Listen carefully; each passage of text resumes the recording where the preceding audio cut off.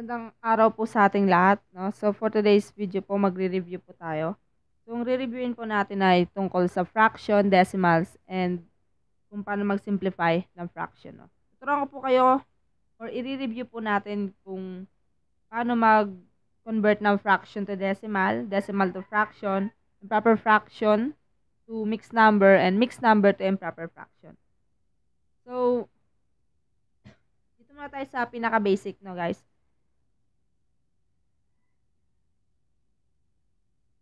Paano ba natin malalaman na ang fraction ay improper fraction or proper fraction, 'no?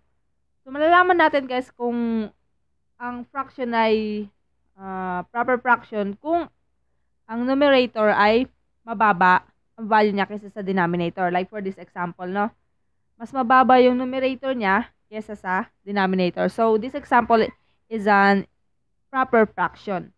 So, tandaan niyo lang mababa yung taas, mas mataas yung nasa baba. So, dito naman sa example number 2, 4/3.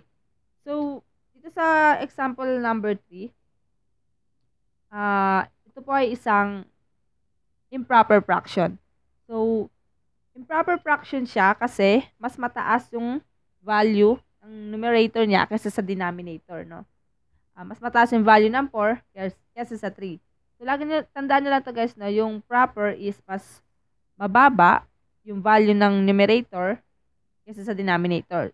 Sa improper fraction naman mas mataas yung value ng numerator niya kaysa sa denominator.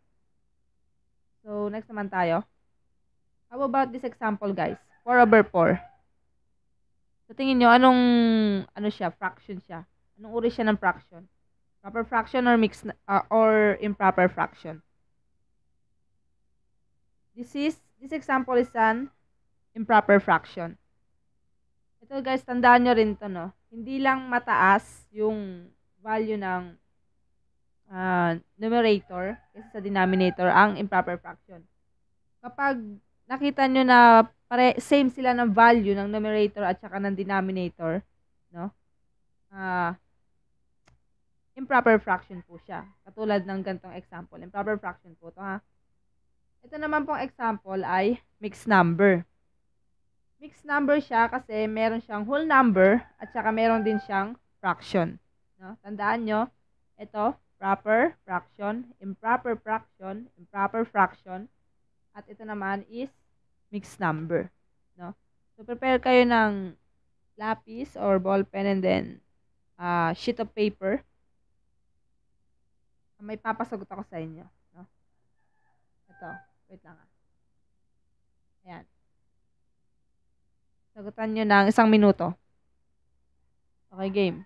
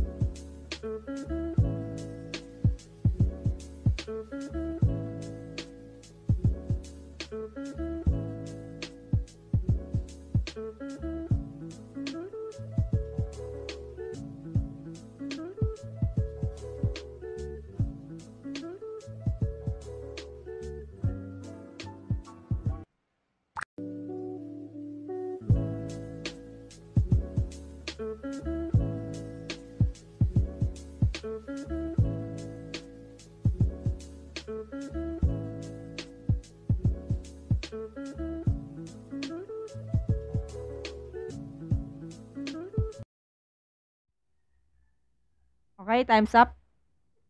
So, higit na oras. Nasagutan na natin to. 21 over 2 is than ano siya? Improper fraction. Kasi mas mataas yung value ng numerator kasi sa denominator. Ito naman, 83 over 126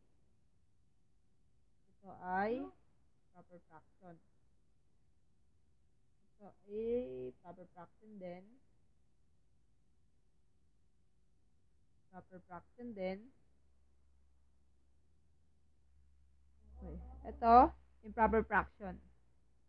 Kasi mas mataas yung value niya ng numerator kasi sa denominator.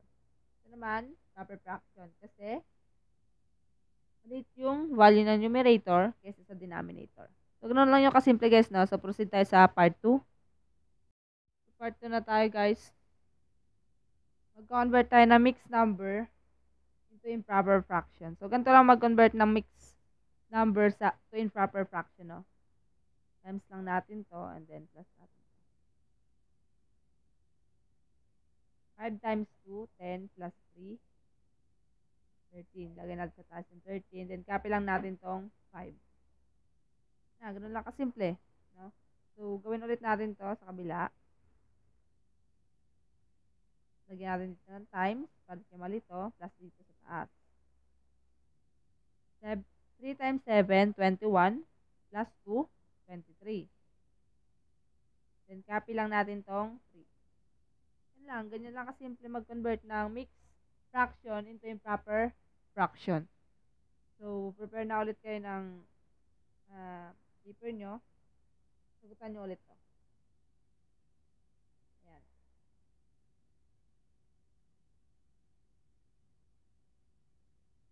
Tatlong minuto lang ah.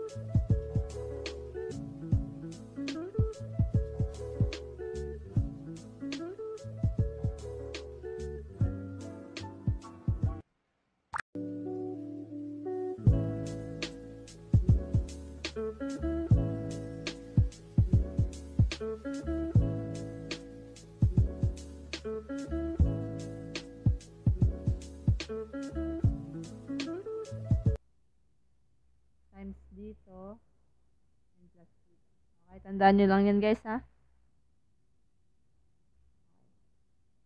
Game.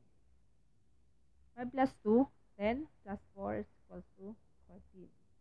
Then copy lang natin ulit tong 5.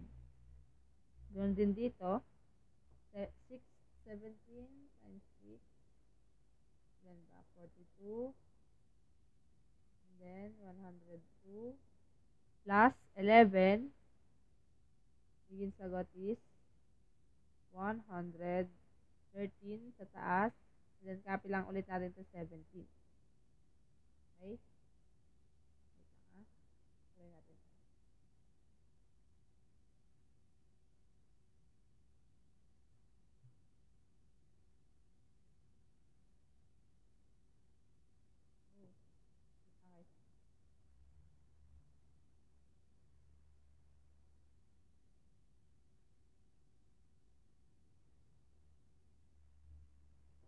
Okay.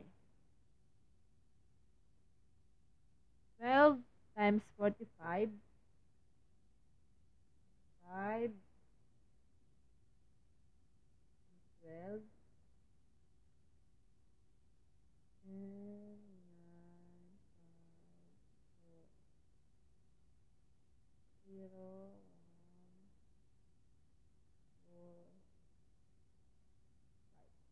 10, 9, 748. Over 45. Copy lang natin yan ulit. Nakadali.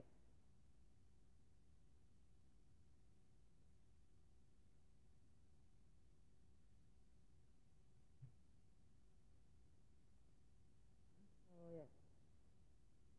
Okay, balik tayo dito. 61 times 9. 9, 54. Plus 3. Um, 550.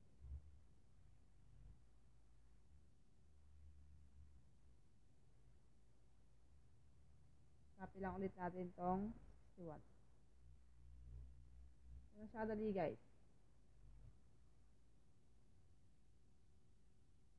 And then, number 5. 87 and 69.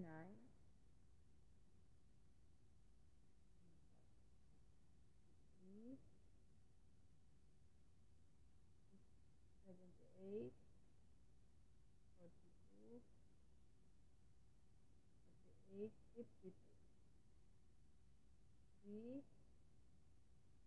0, 0, 6. And then, plus 41.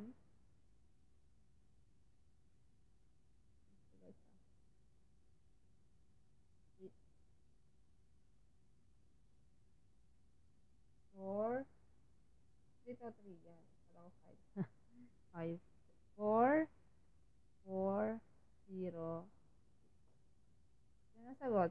Sa numerator, 6,044 over 59.